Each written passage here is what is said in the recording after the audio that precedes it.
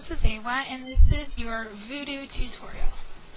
Um, VuhDo is a healing add-on, um, much like Healbot, but a lot more preferred, especially by me. Um, it's probably higher rated than Healbot, and it's more customizable and very, very easy to use. So, to begin with Healbot, we're going to click on the little Draenei lady on your mini-map, and we're going to open that up. Um, here we're in the Generals tab. The General tab basically just, you know, has all your general information. Um, operation mode, global cooldowns, um, announce resurrection, lock panels, hide panels, and um, filters. Um, with your filter, basically what that is when it says main tanks, private tanks, all that stuff, um, it's just little panels that you can add to uh, see all that stuff. You can see um, your main tanks in their own separate panel. Um, especially if you're tank healing, it's probably really easy because then you don't have to see the raid. Or you can't see the raid, but then specifically focus on that one area.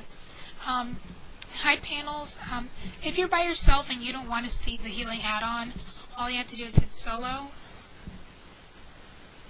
And there it goes, it's disappeared. Um, I like to see it when I'm by myself, so I click it on.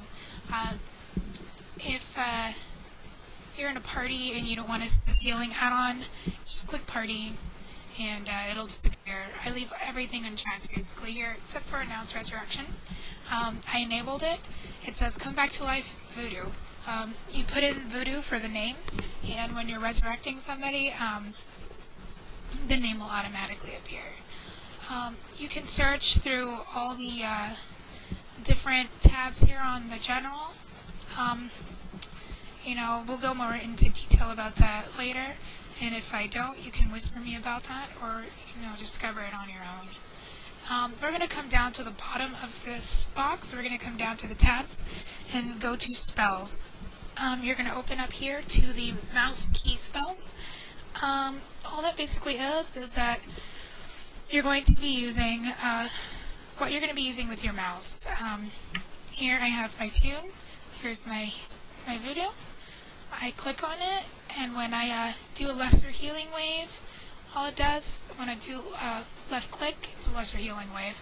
When I right click, it gives me healing wave. And if I use my middle button, uh, Riptide.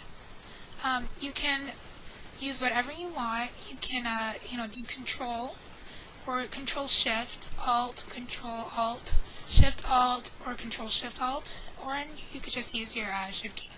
This is all mouse key bindings.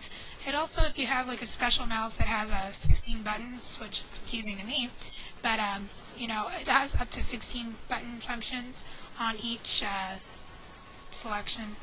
Um, you can go to key bindings, which is next on this uh, sidebar over here.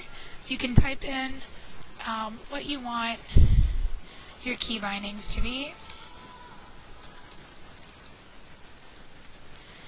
And there, it will um, do lesser healing wave, and uh, you have to actually go into uh, key bindings on your um, WoW setup, and uh, go from there.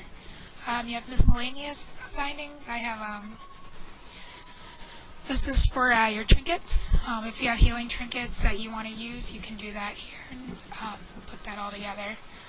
Um, I have SmartCast enabled. What that is is that um, if you know somebody has uh, a buff that they need, um, like for instance, here you see my screen is black because I don't have Earth Shield. Just click on it, it automatically gives me the buff. Um, to cleanse it, all you have to do is click, resurrect, click on it, battle res for um, druids. It's really easy to use. Um, we're going to come back down to the tabs at the bottom of the, screen, click on buffs. As you can see, um, you have a list of your buffs. Um, mine, I basically only use um, Earth Shield as a healer. That's the only buff I can give to tanks. And it comes in this little screen that I'm moving around. You see right here, a little box. Um, it's really helpful. You put that on. You put your tank there.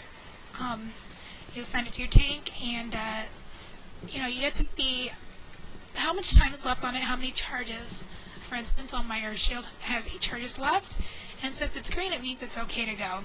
Um, if I don't have Earth Shield, you'll see how it turns red, says go.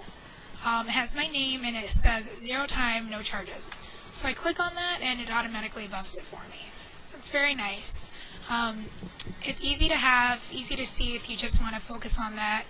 Um, I don't raid, I don't, sorry, I don't tank heal, but I keep my Earth Shield up on a tank as always. Um, it's uh, very easy to use if you're not, you don't have to look through your um, frames to actually see where the tank is and then actually give them that buff. You have your uh, general configurations here. Um, you have your colors. Buff OK is green. Buff yellow. I mean buff low is yellow. Buff missing is red. Um, you can change all those colors if you want. And then your rebuff option on the sidebars. So we're going to come down to the panels option in your tab.